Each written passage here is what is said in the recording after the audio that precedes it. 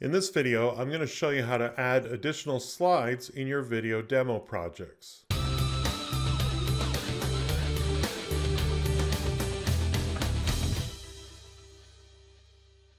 Okay, so video demo is actually one of the coolest features in Adobe Captivate. It allows you to create your own little movies, your screen capture movies of various procedures that you might want to share with your e-learning projects.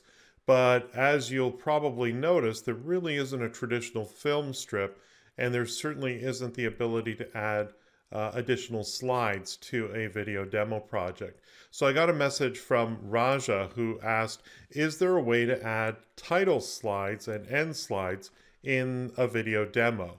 And uh, so Raja, we, we have a solution for that. Let me take you through the, the workflow that will help you produce exactly what you're looking for here. So here's an example of a video demo, a really short one that I created. It's got a couple of pan and zooms and that's about it. Um, basically, it's just teaching you how to translate from one language to another in Microsoft Word. But I'd like to have a title slide at the beginning of it and maybe some additional slides afterwards.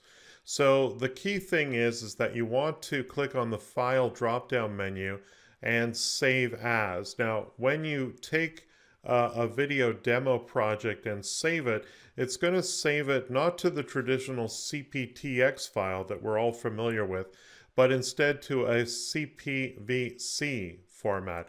I'm just going to save this to my desktop here. We're just going to call that Word Demo and I'll click save at this point here. And I can actually now close this project and return to my regular Adobe Captivate project. So let's say I've got this as my title slide. Now all I need to do is import my CPVC project as a slide that works within a regular CPTX project. So you'll see in the Insert drop-down menu, an option for CPVC slide. And this will open that project. We'll just navigate to my desktop here. There's Word Demo. And we'll click on Open. And you can see there is my actual video demo.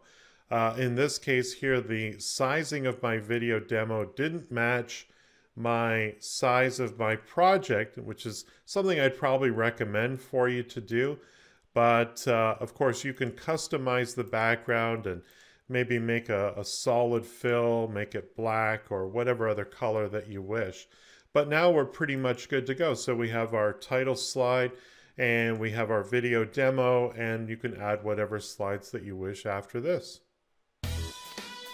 If you thought this video was useful, please like and share with your colleagues.